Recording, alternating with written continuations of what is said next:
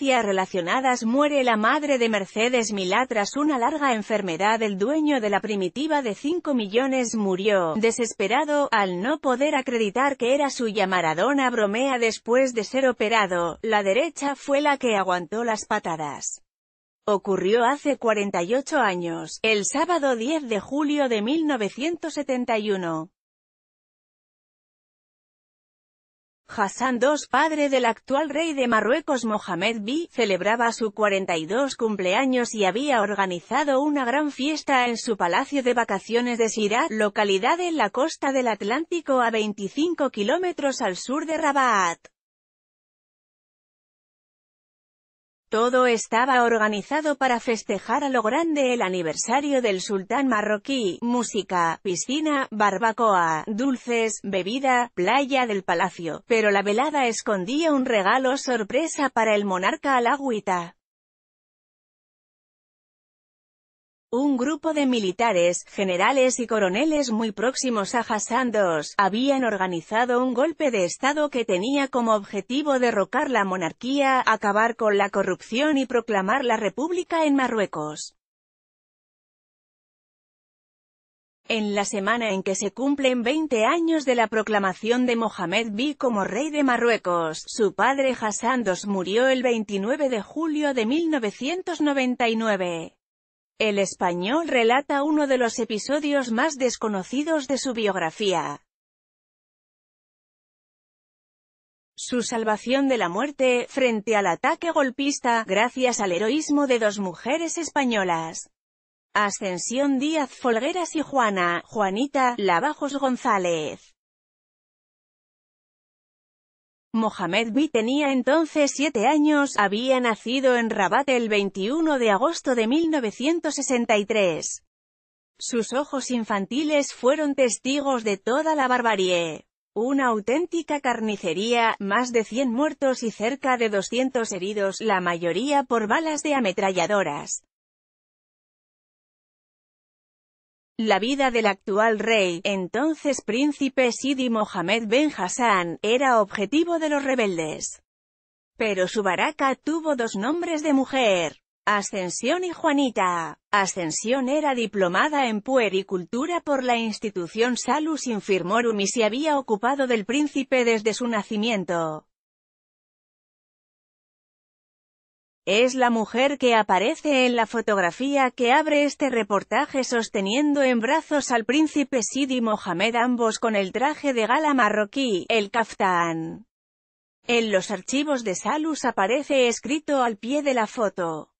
Ascensión, cuidadora del príncipe Sidi Mohamed que nació en el año 1963. Cumpleaños convertido en golpe seguro que el rey Mohamed VI no ha olvidado aquel verano del 71. Ese día era el cumpleaños de su padre, el rey Hassan, y se había organizado una fiesta que iba a durar varias jornadas. Eran las una y treinta de la tarde horas y tanto Juanita como Ascensión ya se encontraban en los pabellones reales. Poco a poco fueron haciendo su entrada los invitados al convite, familiares del rey, militares, cuerpo diplomático, empresarios, todos tenían que firmar en un libro de honor colocado al efecto a la entrada de la mansión.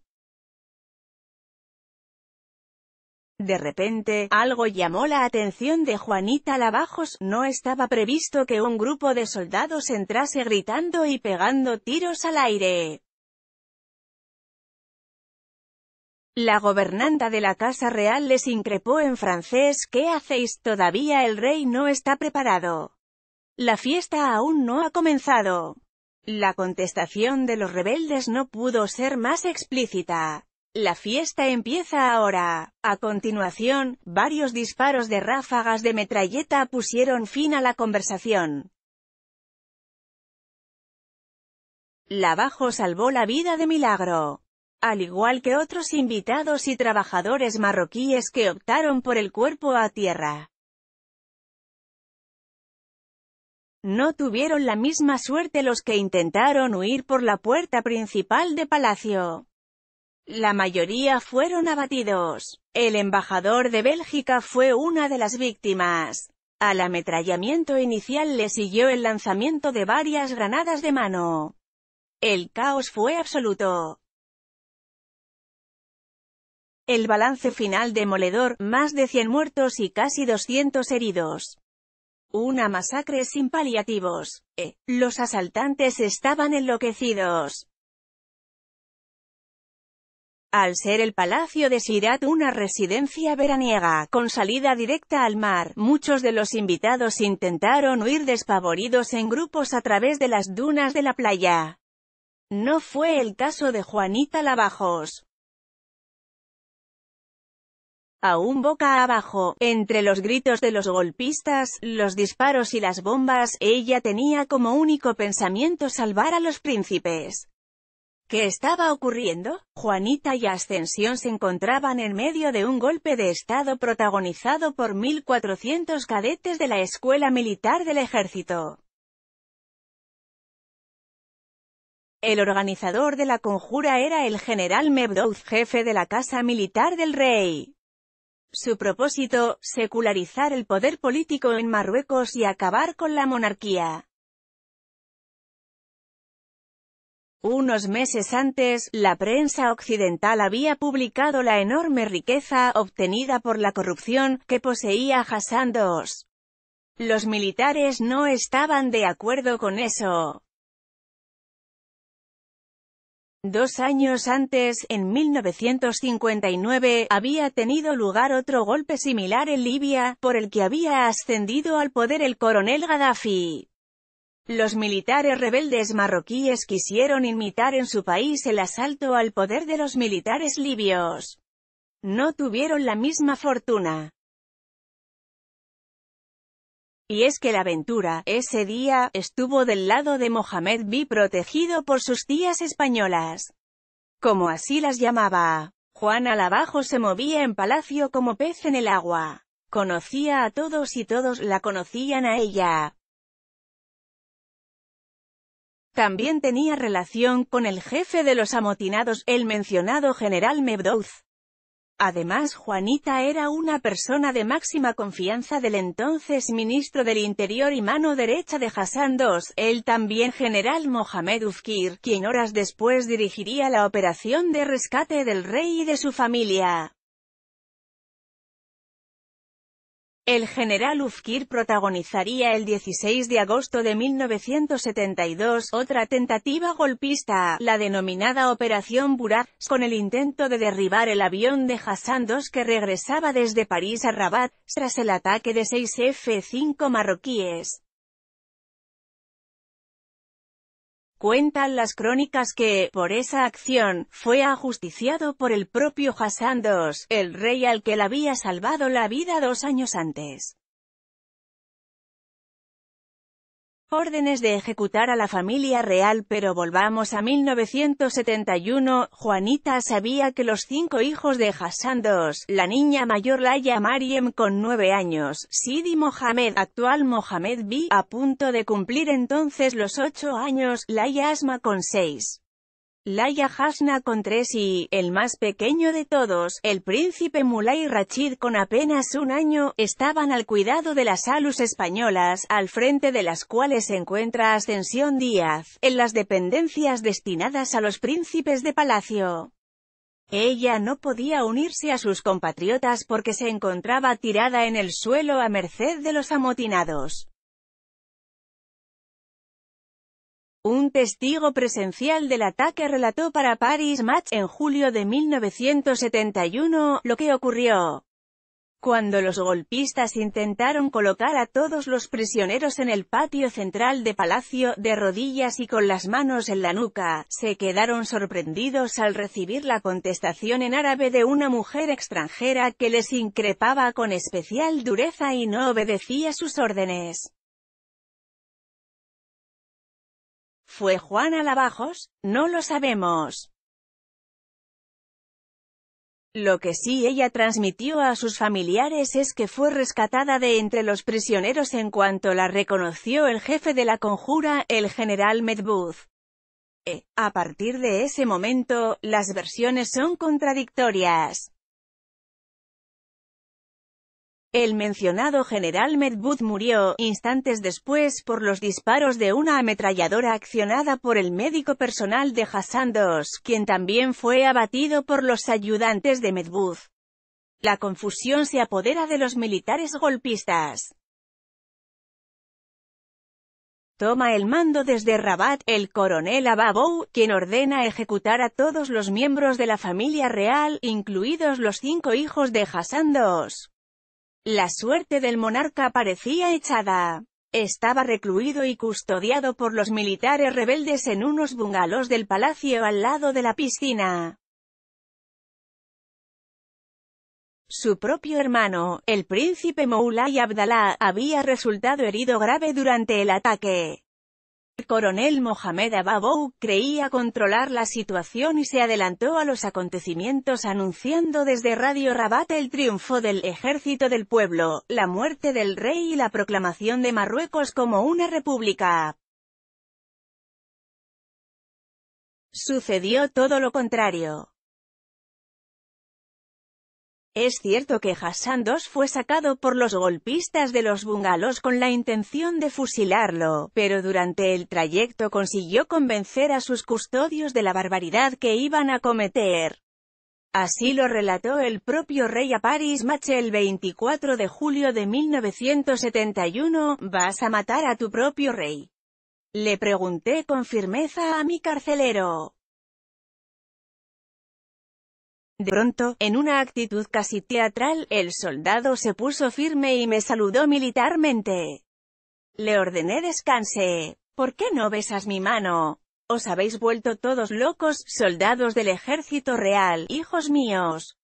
El cadete me suplicó mi señor. No habléis demasiado fuerte. Todavía aquí hay gente que os desea mal. Si no hubiéramos salido a las 5 y 30 de la tarde horas de esa habitación habríamos muerto. Con la ayuda de los cadetes, convertidos en leales, Hassan II se escondió en otras dependencias del palacio y logró salvar su vida. ¿Y los niños? Según publicó la prensa marroquí, cuando los golpistas fueron a por los príncipes se encontraron de frente con la actitud inquebrantable de una mujer española con el heredero, el actual rey Mohamed VI, entonces con siete años en brazos. Esa mujer se encaró a los rebeldes, les increpó en árabe y les hizo retroceder, manteniéndose ella firme abrazando al príncipe heredero y con el resto de institutrices y cuidadoras, arropando a los cinco príncipes de la familia real detrás. Todos permanecieron encerrados en los baños de mujeres del palacio. ¿Quién fue esa mujer? ¿Ascensión Díaz o Juanita Lavajos? Fuentes militares de la Embajada de España en Marruecos confirmaron, años después, que aquella heroína fue Juana Lavajos. Mientras que las hermanas menores de Juana, Esperanza y M de Los Ángeles, afirmaron a este periodista que aquella mujer no pudo ser otra que Ascensión Díaz. Una corona de flores para Juana existen más versiones respecto a lo que allí sucedió. Como la escrita por Ferran Sales en su biografía sobre Mohamed B, nadie es capaz de confirmar si fue Juana Lavajos la que en julio de 1971, en medio del tumulto del golpe de estado de Sirat, se lanzó a una piscina para salvar el cuerpo del pequeño Sidi Mohamed que había caído al agua y amenazaba con ahogarse. Sin embargo, Juanita, como confirmaron a este periodista sus hermanas, no sabía nadar. La respuesta a este enigma la dio el propio Hassan II en su relato entrevista con Paris Match en julio de 1971, en el curso de uno de los dramáticos episodios de los golpistas una sección de cadetes se desplaza para hacerse cargo de mis hijos, protegidos de forma admirable por las gobernantas francesas y españolas. E, quien salvó de la muerte a Mohamed Bey. La única gobernanta de la Casa Real era la española Juanita Lavajos. Además, únicamente ella recibió, dos años después, de manos de Hassan II, las dos máximas condecoraciones del Reino de Marruecos, la de oficial y dama del trono alagüita. Pero hay más pistas. En 1977 Juana Lavajos tuvo que volver a España para tratarse de una grave enfermedad. Acababa de ser operada en la clínica Nuestra Señora de Loreto. De repente, llamaron a la puerta y tras ella aparecieron los cinco hijos de Hassan II, encabezados por el príncipe Mohamed. Habían venido a Madrid, para dar su adiós a su querida tía Juanita, como la llamaban en la intimidad. Todos rodearon su cama y entre besos, risas y lágrimas, recordaron anécdotas e hicieron planes para un futuro que nunca llegó. Juana, herida por un cáncer, les devolvió desde su lecho su última lección de amor, fidelidad siempre. Más allá de la muerte. Semanas después, el 12 de julio de 1977, una corona de laurel con el nombre de Mohamed acompañó el féretro de Juana Lavajos hasta el cementerio de la Almudena de Madrid. La otra salvadora de Mohamed B. Ascensión Díaz, vivió el resto de su vida en Rabat, Marruecos. Punto. Siempre muy vinculada a la familia real marroquí, especialmente al niño que acunó en sus brazos nada más nacer y que, gracias a ella, llegó a ser rey.